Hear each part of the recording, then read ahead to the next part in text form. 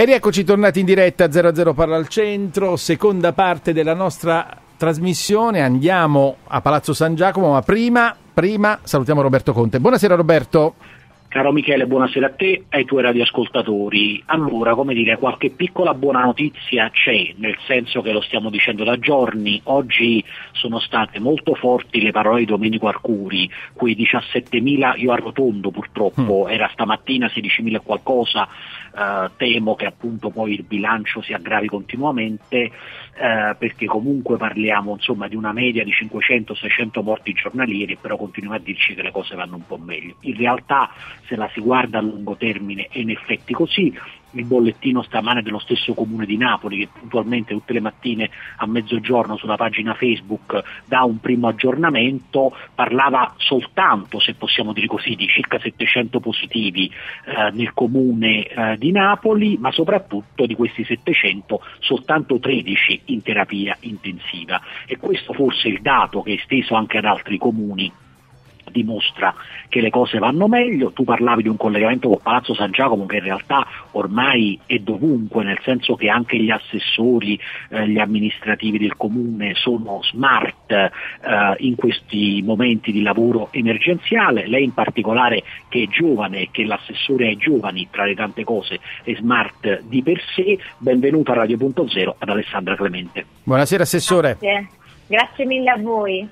Alessandra, allora tra, tra, le due deleghe c'è quella del patrimonio, oltre ai lavori pubblici e ai giovani. Il patrimonio personale di tanti napoletani, ma di tanti italiani in questo momento è la grave conseguenza della crisi sanitaria che ha portato ad una forte crisi economica. Il Comune di Napoli da questo punto di vista sta facendo molte cose per cercare di dare una mano ai cittadini, non solo a livello sanitario. Beh, grazie, ricordandoci sempre che il più grande patrimonio comune in questo momento è la salute e la straordinaria lotta che ognuno di noi eh, mettendo in stand-by i nostri diritti fondamentali stiamo facendo attraverso questo meraviglioso anche eh, impegno di maturità della città di Napoli perché quel resto a casa eh, dalle napoletane e dai napoletani viene rispettato con forza al di là eh, dei luoghi comuni e dei pregiudizi. Io lo posso dire da un osservatorio uh, privilegiato e autorevole che sono appunto i controlli in strada,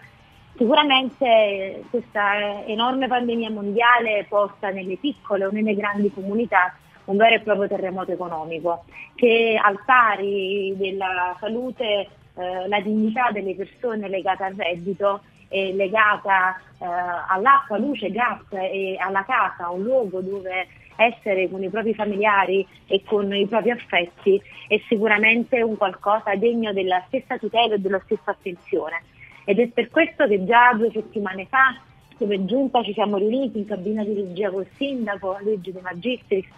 per dare da subito dei segnali chiari in primo luogo alla cittadinanza di questa consapevolezza ovvero che a doppio filo con la vita delle napoletane e dei napoletani da proteggere c'era anche la uh, vita economica uh, delle famiglie della città di Napoli e delle sue imprese e delle sue attività economiche. Ed è per questo che in tanti settori abbiamo messo in campo in queste settimane tanti interventi. Ne voglio citare uno per iniziare. Il Comune di Napoli ha deciso, essendo proprietario di molti immobili, di uh, sospendere il pagamento dei citti, all'insegna di un qualcosa di semplice. Se lo Stato mi chiude,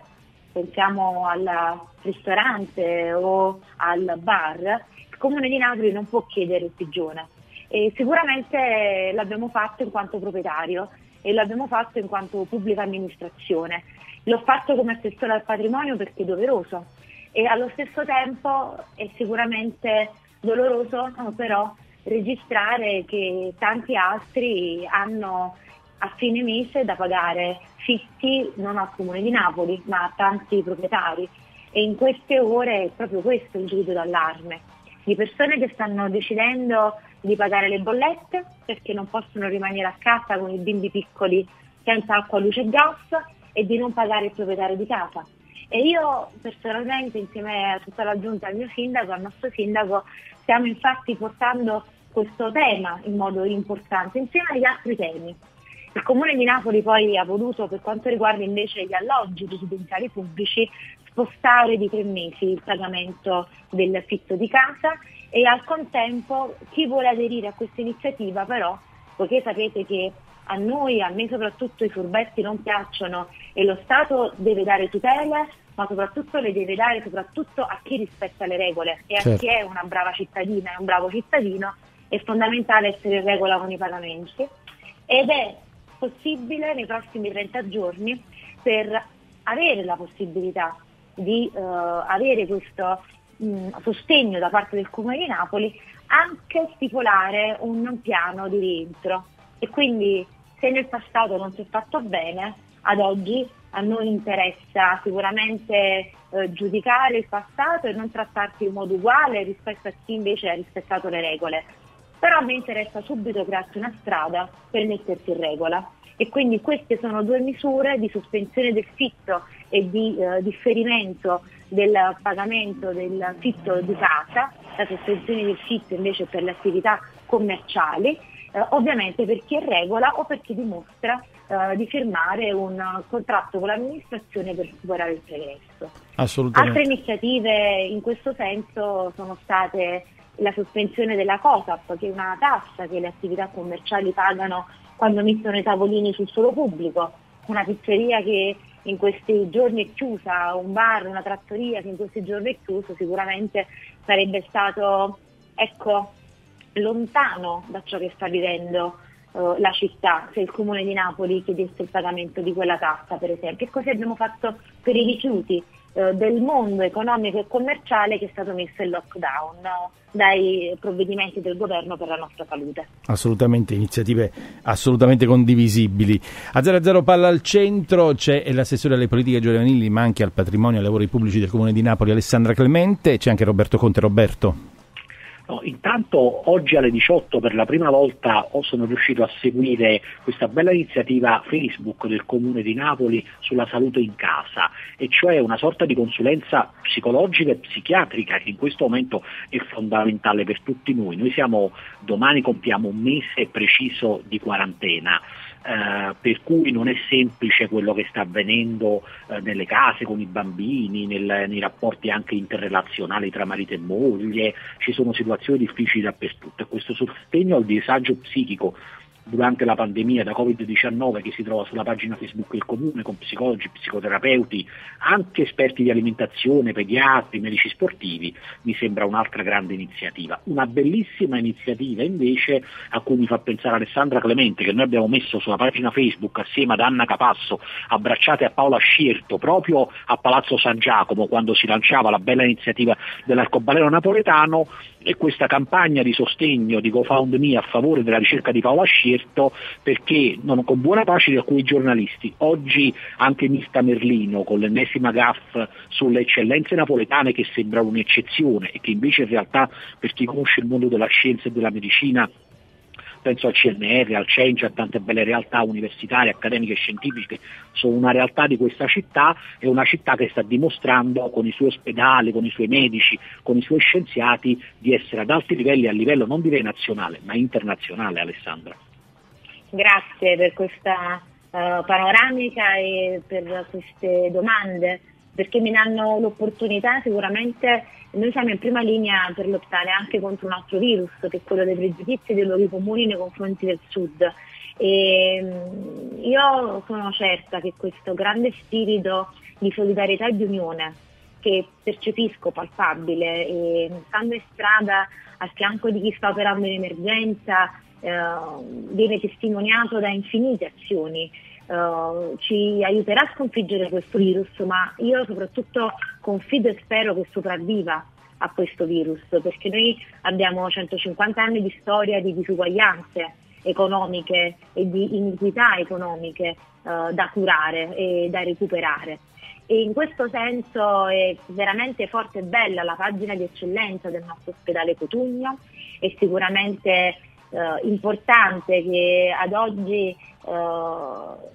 idoli della città di Napoli sono i nostri medici, capitanati dalla competenza, dalla semplicità e dall'umiltà eh, del professor Ascerto, ma anche di tanti altri anonimi che oggi non vedono il proprio nome riportato dalle cronache, ma che sono quella testimonianza dell'etica del lavoro, cioè di professionisti che si sono formati e che in un sistema pubblico forte sono lì per eh, scrivere pagine importanti per la città e per il paese. Eh, Napoli è sempre stata in questo una grande città e una capitale in grado di produrre professionalità e competenze ed eccellenze che dal mondo della ricerca al mondo dello spettacolo e della cultura hanno sempre saputo fare la differenza. Io ho un piccolo motto che mi accompagna eh, da napoletana, nessuno nasce in vano sotto un vulcano, siamo una um, identità popolare e una identità culturale, quella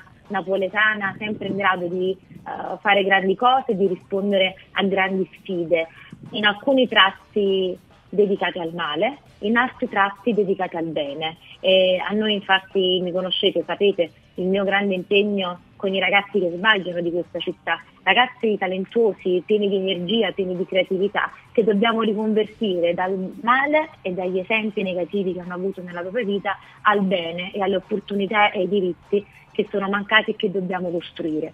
E legata diciamo, a questa dimensione c'è la dimensione eh, di un'umanità molto forte che ci deve guidare in questo momento storico. Eh, quotidianamente si sta prendendo decisioni nei reparti degli ospedali, in strada, tra le forze dell'ordine, nei palazzi anche della democrazia, della città come il comune o del paese, come il governo, io sento, almeno parlo per me stessa, che c'è un'unica stella polare che è quella dell'umanità da seguire. E c'è bisogno di prendersi cura delle persone. Ed è per questo che è nata anche un'iniziativa semplice ma di un successo incredibile come la salute è in casa, non soltanto un richiamo ovviamente a quel messaggio di stare a casa, che è un atto d'amore per prenderci cura di noi stessi e di tutti gli altri, ma perché siamo consapevoli che stare a casa può essere fonte di problemi, si può mangiare troppo, eh, si convive in spazi stretti, eh, si cambiano le abitudini. Io non so voi, ma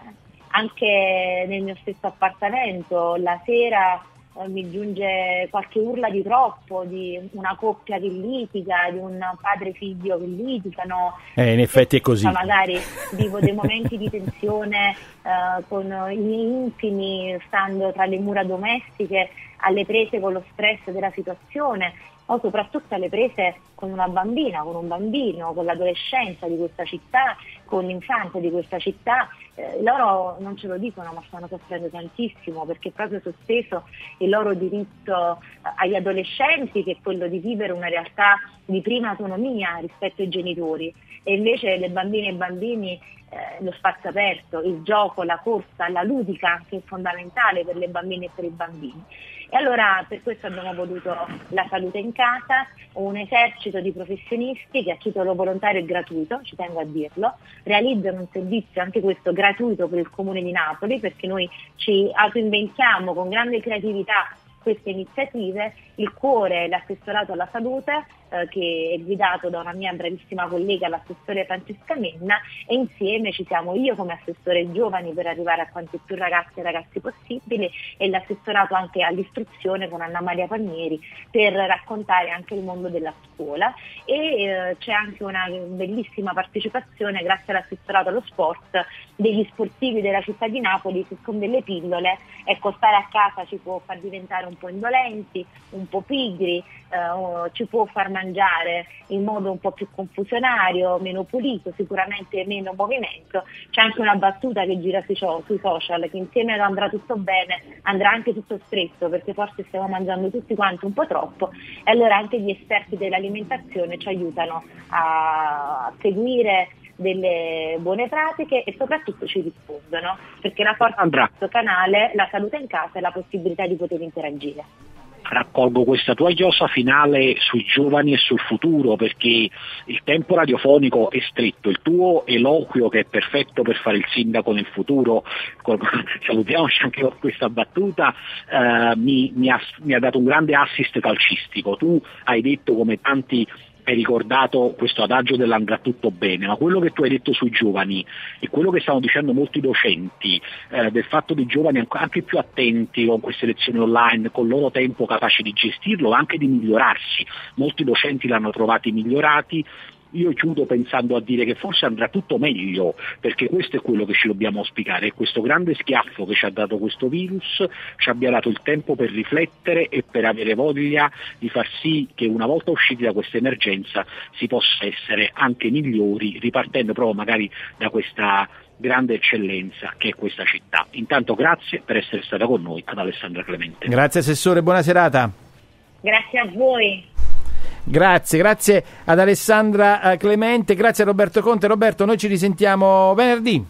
Ci risentiamo venerdì con un altro spazio dedicato alle eccellenze della ricerca napoletana, penso al CNR, c'è un gruppo all'IBB guidato da Rita Berisio che sta lavorando a studi farmacologici e vaccinali sul coronavirus, insomma molte delle speranze arrivano da questa città, con buona pace di qualcuno che si trova in zone padane, eh, ci sono dei primati della scienza e non pochi che abbiamo proprio a Napoli e in questo momento in realtà come ha detto proprio il professor Ascierto non è neanche tanto il momento di sottolinearli ma è il momento di sperare che chiunque esso sia, pensa all'Australia dove venivano alcune buone notizie il giorno scorso, alla Cina o chiunque sia, trovi quanto prima una via d'uscita farmacologica di quella vaccinale un po' più lontana a questa grave emergenza. Buona serata Roberto, grazie e a venerdì. A voi, a venerdì.